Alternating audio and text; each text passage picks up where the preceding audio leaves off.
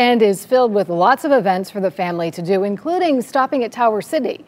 News 5's Nadeen Abusada with all those details. While everyone is trying to make a slam dunk this weekend, Laurice Purnell had a different agenda. We have about 100 black-owned businesses from all over northeastern Ohio. He started the Real Black Friday that took place at Tower City all weekend, featuring black businesses of all sorts and the NBA Ice Bucket Challenge. NBA All-Star 2022 hasn't been done here in 25 years in our city. Um, it just gives these local businesses and helps to put them on a national platform. One of those businesses is Collegiate Lux. Came in from Baltimore. An HBCU store. Try to bring life to uh, black universities.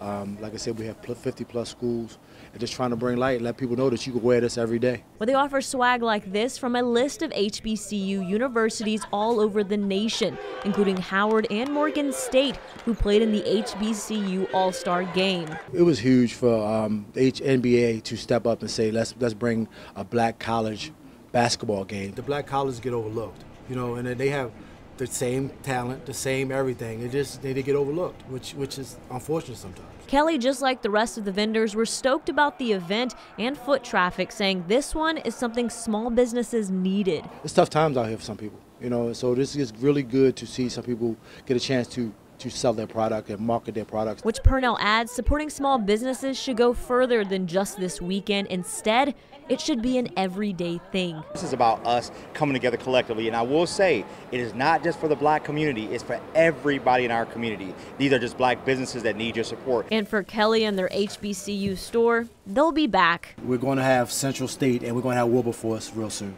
for the, for the, for the people of Ohio but with some more Ohio gear. Reporting in Cleveland, Nadeen Abusada, News 5.